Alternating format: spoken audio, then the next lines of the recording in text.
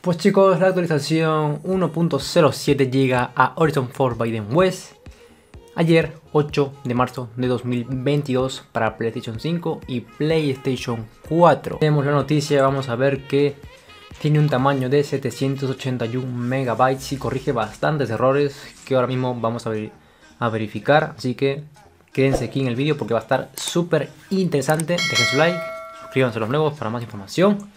Horizon 4 Biden West y continuamos. Según pone la nota, dice que el parche 1.07 corrige montones de errores en diferentes aspectos del PlayStation juego. Por ejemplo, las misiones principales, secundarias de exploración, apartado técnico, interfaz de jugador. Guerrilla ha compartido las notas completas del parche a través de Reddit, pero nosotros vamos a mirar las más importantes porque son un montón. No va a dar tiempo a ver todas, entonces vamos a mirar las más importantes. Hay que decir que en algunas notas del parche pueden aparecer spoilers, así que no me hago responsable si es que aparece porque es la primera vez que voy a verlo. Así que bueno, por si acaso, si no quieres spoiler para el vídeo y no lo veas. Es que en este parche el equipo realizó varios ajustes a la vegetación para mejorar la calidad de la imagen en el modo favorecer rendimiento. Por favor, háganos saber sus comentarios. Entonces pone aquí que este modo rendimiento es para PlayStation 5, no para PS4 que es el que a nosotros más nos interesa. Dice que el equipo continuará investigando los problemas gráficos informados relacionados con el brillo, la nitidez y la saturación de la pantalla. Bueno, con el brillo a veces puede que esté un poco oscuro en algunas zonas del juego, sí, deberían corregirlo un poco, aunque si no tienes HDR puede que ni siquiera notes este problema. Y bueno, también habla de que algunos jugadores han informado que los iconos, los iconos, los iconos del Fire Clean, que no sé qué es, no se eliminarán del mapa después de interactuar con ellos. Esto se arreglará pronto. Fire Clean, no tengo ni idea eh, a qué se refiere. Si alguien lo sabe, pues, los comentarios. Déjalo.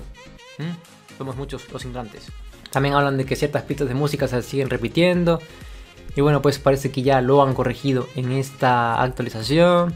Y bueno, pues eh, siempre pueden mandar su feedback, sus eh, sus bugs a guerrilla para que ellos también se pongan manos a la obra y solucionen todo. Vamos a ver aquí en las misiones principales. Ojo, posible spoiler, ¿eh? Posible spoiler, te aviso. Se solucionó un problema en la misión principal Alcanza las Estrellas, en el que la misión ha progresado correctamente si se disparaba primero el segundo conector del cable del transbordador.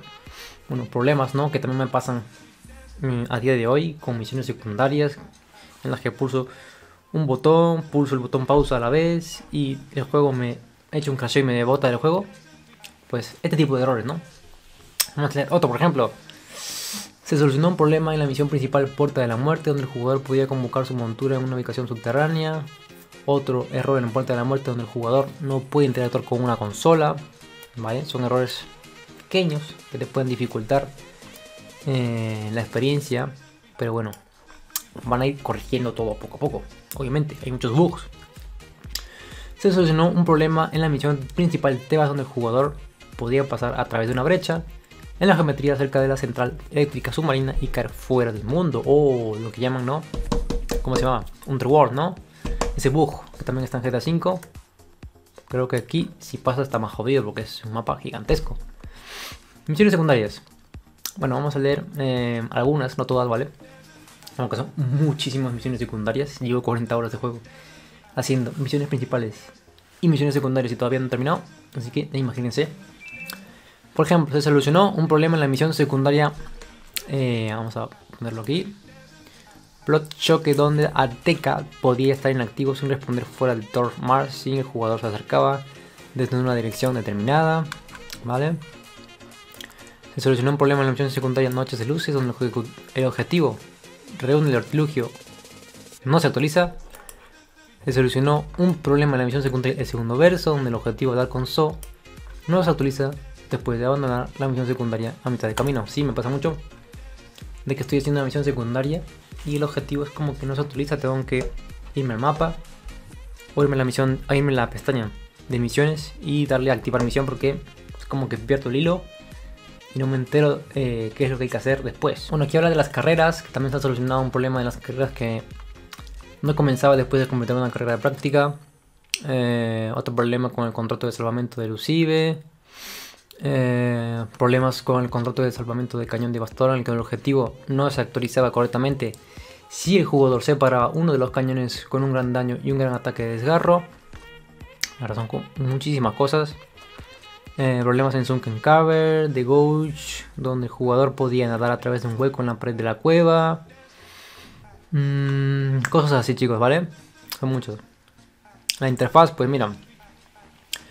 Se agregó una opción de siempre apagado para armas y municiones y herramientas y pociones en las opciones del HUD personalizado. Mm, esto creo que es para quitar, ¿no? Que no nos salgan los iconos de las armas, ni la munición, ni las pociones. Bueno, a mí me gusta jugar con HUD porque si no me pierdo. Eh, pero para los streams, los extremos, pues ahí tienen la opción. Se corrigieron varios iconos atuendos que usaban los activos incorrectos en el menú de inventario.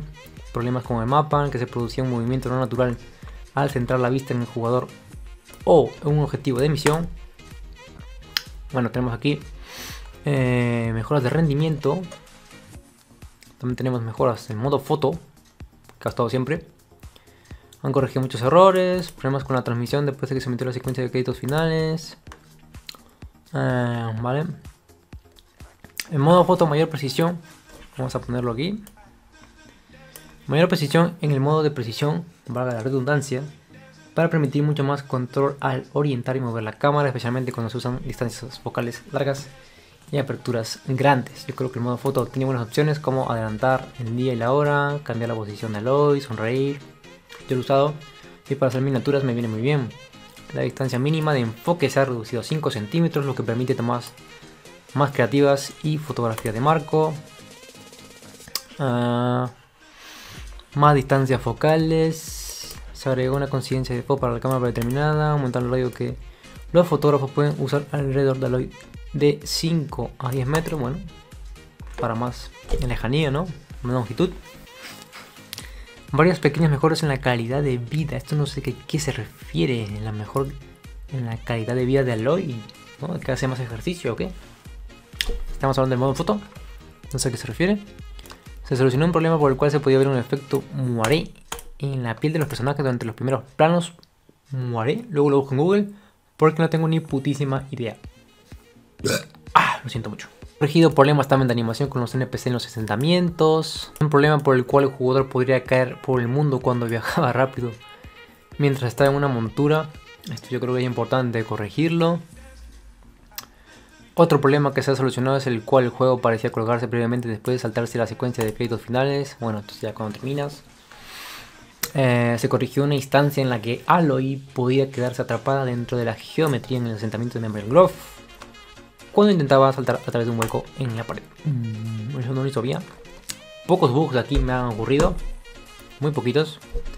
Eh, solo he tenido bugs de cacheos, bugs en los que no se me utilizan las misiones. Eh, hay cosas que se destruyen, pero es como si no se hubieran destruido, pero puedes pasar. Cosas así, que no tienen mucha importancia. Y bueno chicos, cosas así. Eh, esta es la actualización 1.07 de Horizon 4 Biden West. Bueno, han corregido bastantes errores. Esperaremos a ver a cuándo Guerrilla pone las, la opción de la nueva partida Plus para empezar todo de nuevo. Eh, con todos los objetos, todas las habilidades como ya vi en el primer Horizon, en modo War, en Spider-Man, y en muchísimos juegos. Yo creo que es la actualización final que podría llegar, no sé, quizás en verano o a finales de año, no sabemos. Pero eso es todo lo que trae el parche 1.07. Like, chicos, si os ha gustado, ya saben, déjame en los comentarios si hay algún bug que todavía tienes, no se ha corregido. Déjalo en los comentarios para luego, pues, nos quejamos a guerrilla, ¿no? Entre comunidades, si sabes que todo funciona mejor.